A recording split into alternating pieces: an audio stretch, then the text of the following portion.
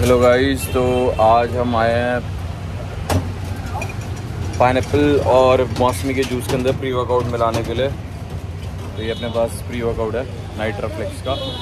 और, ये आज मिक्स करेंगे अपना पाइन में और मौसमी के अंदर।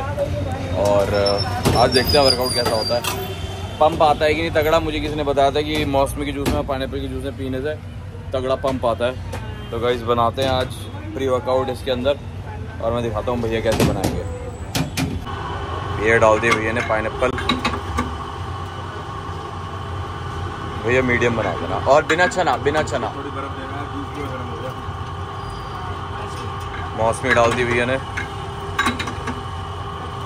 ये पाइन डाल दिया। और मैं ये शॉप का भी बता दूँगा आपको कभी भी बनवाना हो किसी को अपना प्री वर्कआउट यहाँ पे आके तो आराम से भैया बना देते हैं। प्री वर्कआउट के अंदर जूस बढ़िया एकदम। करके। एक स्कूप डाल देना भैया इसमें। आपके हाथ ज़्यादा गीले तो नहीं है? हाँ पोस्ट दो पहले। तो सारा ये हो जाएगा। ये भैया डालने वाले हैं इसमें नाइट्रा फ्लेक्स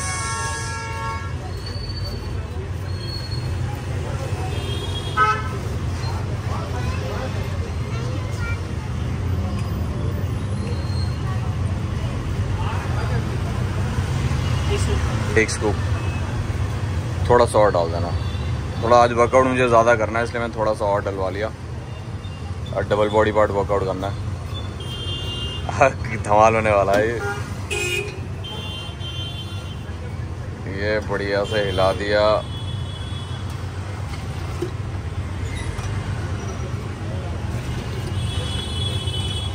एक लीटर में कौन सी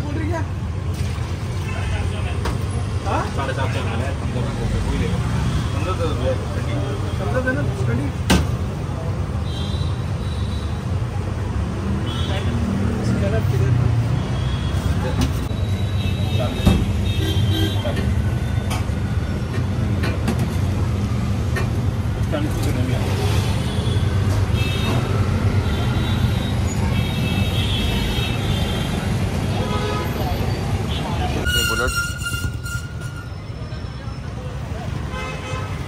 ये खड़े हैं हम, और ये अपना प्री वर्कआउट और ये रही अपनी बुलेट अब ये प्री वर्कआउट पीते हैं बढ़िया से, और फिर चलेंगे वर्कआउट करने।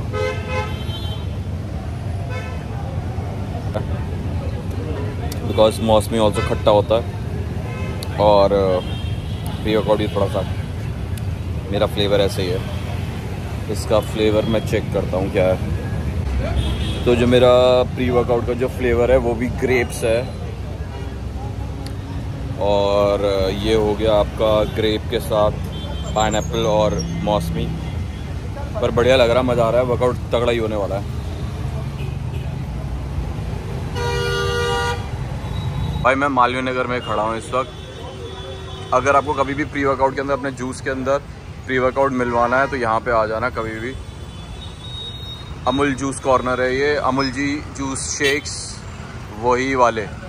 पुराने वाले हैं, ये ओरिजिनल वाले हैं, इन्हीं से आके जूस पिए हैं, बढ़िया जूस बना के देते हैं, सामने जूस बना के देते हैं। ऐसा नहीं है कि क्या बोलते हैं हाइड कर रखा है या कुछ है, बढ़िया जूस बना के देते हैं, भैया।